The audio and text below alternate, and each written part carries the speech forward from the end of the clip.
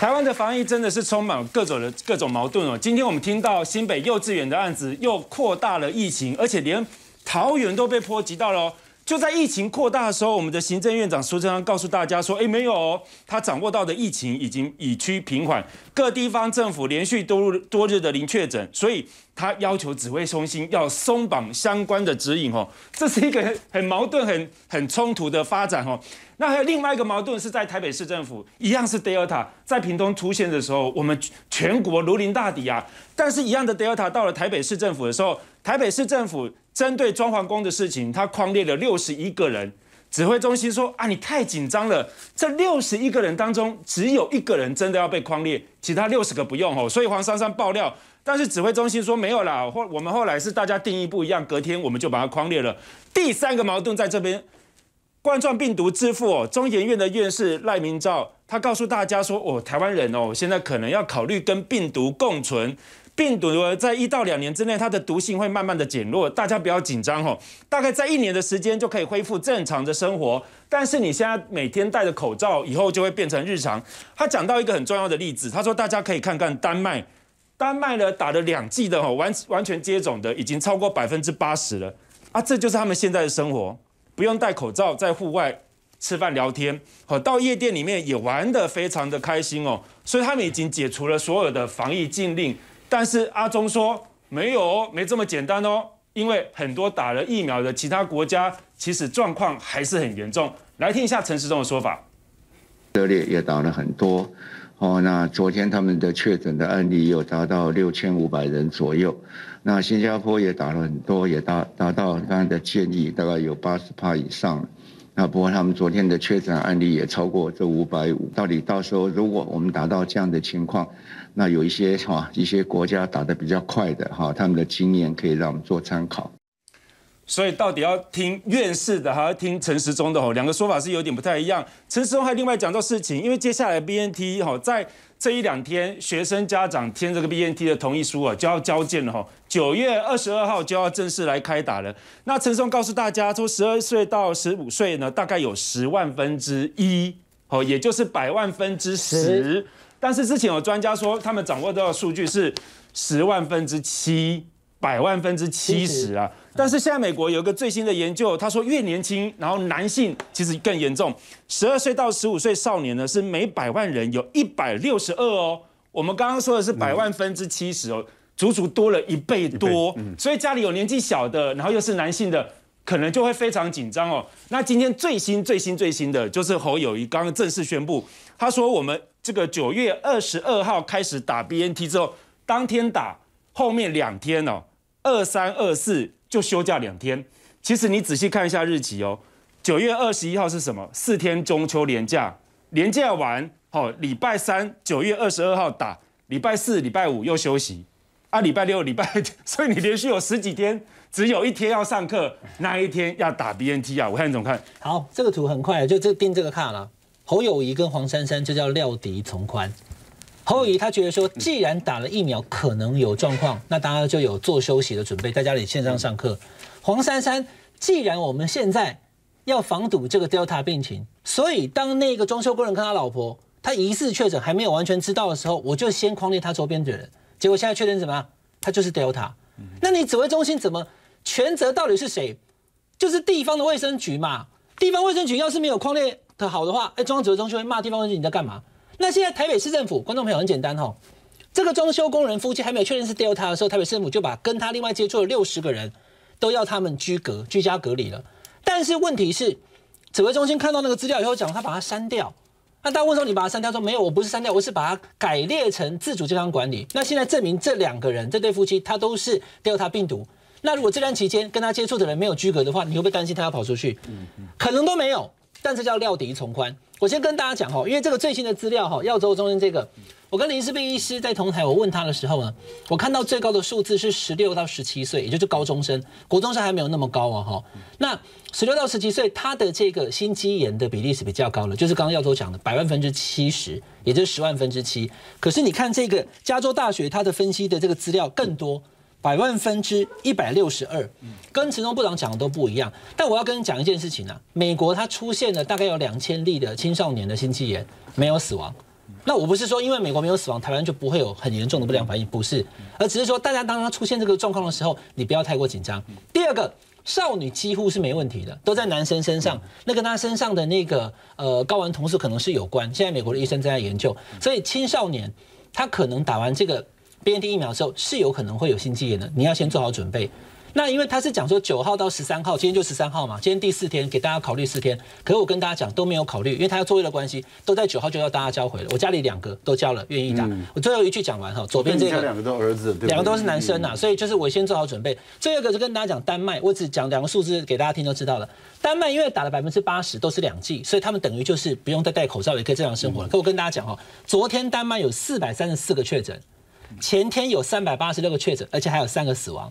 如果我们台湾能够做到一天三四百个确诊还要含死亡，我们也可以不怕的话，我们就可以是丹麦。台湾可以吗？台湾不行。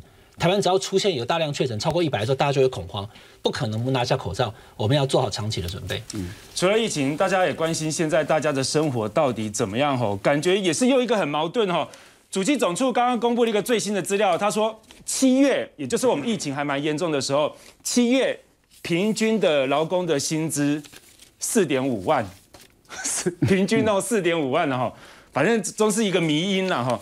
那但是同时间，我们要看到《中时国时报》有一个民生社区金建，有妈妈带着两个幼女哦，骑着 U bike，然后在民生社区哦，天龙国里面的天龙国，在那边翻垃圾，然后还不止一个人看到，是先有一个人在爆料公社里面抛到他看到，他觉得非常吃惊，怎么会翻着垃圾桶里面的便当就拿起来吃？他非常吃惊哦，没想到其他人说哦有，我也看过。而且我要追上去，我还有的人给他便当哦，然后他很很多人很惊讶，是在民生社区里面有相当相当多的爱心店家有提供代用餐呐，所以他们纷纷的。但是问题搞不好这个妈妈根本没有没有能力上网，她也不知道这一些资讯。那另外一个我们看到现在饭店哦，圆山饭店有一个被报道有一个数字相当的惊人，六月的住房率两年前二零一九年的时候是高达七成六，可是今年的六月居然不到一趴。百分之零点八七哦，第二惨的是福华饭店，两年前是百分之六十五，跌到百分之二点二四。但有一个非常有趣的现象是，这两家饭店说没有啦，没有这么严重，我们后来都变好了哈。因为一般我们都会说。呃，这些饭店都会希望大家知道他们的灾情多严重，但是他们反而跳出来说没有，我们没有这么严重哈。但是正确的数字，他说还在调查当中。还有另外一件事情，这件事情可能相对的，你就会觉得有的人妈妈要带着小孩去垃圾堆里面拿便当，但有的公务员哦，高雄市的消防局有个办事员就被拍到，他的月薪是高达七万哦，但他在办公室里面可以追剧。追剧被发现的时候，他很凶，公修度也丢哈，所以迟早我们都会遇得到。后来被调查，其实他是因为高雄市，他本来是高雄市的警员警，县市合并之后呢，因为人多出来了，他就变成是消防局的办事员。到现在哈啊变变成说他的工作很少了，那到底还要不要县市合并哦？县市合并，高雄已经是十年前的事情了，那现在在吵。大新竹新竹市长林志坚就告诉大家说：“哦，这是应该要做啊。”然后还特别举例哦，他还放了一个族谱哦，说他的祖先林格两百年前呢来到了，这这有点口误哈，笔误，两百多年前来到了新竹。我妈妈的爷爷叫做王玉圭哦，芋头的芋。我爸爸的爷爷叫做林番薯，所以玉我阿嘎韩吉在他们家里面本来就是一家人哈，但是他避而不谈的是。林格他的祖先是从哪里来？有字，我是觉得这民进党很爱，我很爱被问哦。这三排我各讲一一分一个故事就好了。可这每次都有，像我以前哈在在主持广播的时候，常常有人呛我说：“那个瓦辛啊，你来台湾多久了？”那我说：“你要比多久是吧？”嗯，请问一下你多久？我来呀，两百年了，跟你之前一样。两百年了，你怎么样？你滚啊！你滚回台，滚去，滚滚回去啦。我说对不起，我来四百三十年。哦，我家明朝就过来了，滚。就是你知道这些人喜欢比大小，你知道吗？明朝啊，请问谁比得过我？因为他以为我国语讲的很标准啊，应该是瓦辛啊，嗯，应该是外省人，他不晓得我是明朝就来的。嗯，我家是唐山过台湾那时候就来，就一路我都要这样子。这个小时哈，只要谁讲到北京话，谁讲到国语，我想请谁吃鸡排，哎，马上闭嘴。嗯，不然很无聊啊。林志坚，你现在拿这个东西出来表示什么？哦，你是整个台派的，你喊出这个东西是 OK 的啊？你林格来为什么不讲呢？就你知道，都选择他们要的人去讲，然后合理化现在足足要合并这些东西，我觉得真的是哦，这些人你去看看这些人哈，尤尤其上面的公务员也是，我今天也是一样。我跟你讲，我办了一个活动，结果呢，那个有那个那个有一个公务员，他跟我后来呃，因为呃，我邀请了来宾说要那个投影机，嗯，后来那个公务员跟我讲，跟跟我的助理一讨论完之后说，哎，不需要投影机。我说为什么不需要？因为还要接线，HDMI 线还要什么，然后所以不要。我说哦，这个叫做公务员性格，你千万不能说他们不要你就不要。因为他们一定会选最方便的，但是不能说他们不对，这就是公务员性格。因为我每个月薪水就是如此。台湾的公务体系都被林志坚呐这一挂的这一些公务员体系人，变得很多行政的体单位事情推动不了啊。你看这边哈，这这个真的猪门酒肉臭。谢谢林志坚停留在这边，再过来路有冻死骨，就是民生民生社区。你刚刚讲的民生社区不是台湾。天龙国中的天龙国，那个那些也是公务人员退休哎，公务人员素质之高，感觉最幸福。嗯，他们素质非常高，因为我在里面有做过生意，我知道素质很高。嗯，你看这边都有人在那边捡垃圾吃，我真的觉得你们这边的人要不要看看这边的人？我觉得不是你们想象的这么好过，所以你们现在还有薪水一个月三万、五万、八万可以领，珍惜一点好不好？你看中间这一卦哈，为什么饭店业这么惨？